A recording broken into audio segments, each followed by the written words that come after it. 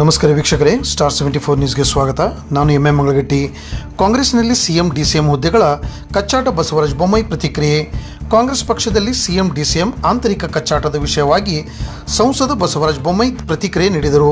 ಗದಗ ನಗರದಲ್ಲಿ ಸುದ್ದಿಗಾರರೊಂದಿಗೆ ಮಾತನಾಡಿದ ಅವರು, ರಾಜಕಾರಣದಲ್ಲಿ ಯಾವುದೇ ಪಕ್ಷ ಇರಲಿ, ಅದಕ್ಕೆ ತನ್ನದೇ ಆದ ವಿಧಿ ವಿಧಾನಗಳಿವೆ. ಡಿಕೆ ಶಿವಕುಮಾರ್ ಸಿಎಂ ಆಗಬೇಕು ಎಂಬ ಸ್ವಾಮಿಗಳ ಅಭಿಪ್ರಾಯ ಬಗ್ಗೆ ಮಾತನಾಡುವುದಿಲ್ಲ. ಇದು ಅವರ ಪಕ್ಷಕ್ಕೆ ಬಿಟ್ಟಿರೋ ವಿಚಾರವಾಗಿದೆ. ಅವರ ಆಂತರಿಕ ವಿಚಾರದಲ್ಲಿ ನಾನು ಕಮೆಂಟ್ ಮಾಡುವುದಿಲ್ಲ ಎಂದು ಬಸವರಾಜ ಬೊಮ್ಮಾಯಿ ಹೇಳಿದರು. ಕಾಂಗ್ರೆಸ್ ಶಾಸಕರ ಯಾವ ಗುಂಪು ನಮ್ಮನ್ನು ಸಂಪರ್ಕ ಮಾಡಿಲ್ಲ. ಈ ಬಗ್ಗೆ ನಾನು ಸುಳ್ಳು ಹೇಳುವುದಿಲ್ಲ. ಆದರೆ ಅವರವರ ನಡುವೆ ತಿಕ್ಕಾಟ ಇರುವುದು ಅವರ ಮುಖಂಡರ ಹೇಳಿಕೆಗಳಲ್ಲಿ ಸ್ಪಷ್ಟವಾಗುತ್ತಿದೆ ಎಂದರು.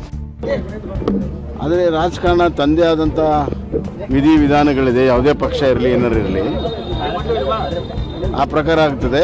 ಈ ಸ್ವಾಮೀಜಿಯವರ ಅಭಿಪ್ರಾಯ ಬಗ್ಗೆ ನಾನೇನು ವ್ಯಾಖ್ಯಾನ ಮಾಡೋಕ್ಕೆ ಹೋಗೋದಿಲ್ಲ, ಆದರೆ ಅದು ಇವತ್ತು ಕಾಂಗ್ರೆಸ್ ಪಕ್ಷ ಆಡಳಿತದಲ್ಲಿದೆ, ಆ ಪಕ್ಷಕ್ಕೆ ಬಿಟ್ಟಿದ್ದು.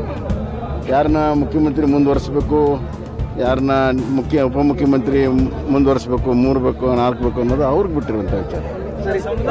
ಅವ್ರ ಆಂತರಿಕ ವಿಚಾರದಲ್ಲಿ ನಾವು ಕಮೆಂಟ್ ಮಾಡೋದಿಲ್ಲ. ಇಲ್ಲ ಇಲ್ಲ ಇಲ್ಲ, ಯಾವ ಗುಂಪು ಯಾವ ಗುಂಪು ನಮ್ಮ ಸಂಪರ್ಕ ಮಾಡಿಲ್ಲ, ನಾವು ಸುಳ್ಳು ಕ್ಲೇಮ್ ಮಾಡೋದಿಲ್ಲ, ಯಾವ ಗುಂಪು ನಮ್ಮ ಸಂಪರ್ಕ ಮಾಡಿಲ್ಲ. ಆಂತರಿಕವಾದ ಅವರವ್ರ ನಡುವೆ ವೈರೋದ್ಯಮ ಇರುವಂಥದ್ದು ಭಾಳ ಸ್ಪಷ್ಟವಾಗಿ ಹೇಳಿಕೆಗಳ ಮುಖಾಂತರ ಪರಸ್ಪರ ವಿಶ್ವಾಸದ ಕೊರತೆ ಸಂಪೂರ್ಣವಾಗಿ ಎದ್ದು ಕಾಣ್ತದೆ ಪಠ್ಯ ವೀರಶೈವ ಅನ್ನುವ ಶಬ್ದವನ್ನು ತೆಗೆದುಹಾಕ್ತಾ ಇದ್ದಾರೆ. ಅದು ಸ್ವಾಮೀಜಿಯವರು ಶಿವಾಚಾರ್ಯ ಸ್ವಾಮೀಜಿಯವರು ಲಿವಿ ಕೊಟ್ಟಿದ್ದಾರೆ. ನಾನು ಅದನ್ನ ನೋಡಿಲ್ಲ. ಅದೇನೋ ನೈನ್ ಸ್ಟ್ಯಾಂಡರ್ಡ್ಗೇನೋ ಆಗಿದೆ ಅಂತ ನಂತರ. ಅದು ನಾನು ನಾನು ಗಮನಿಸಿಲ್ಲ.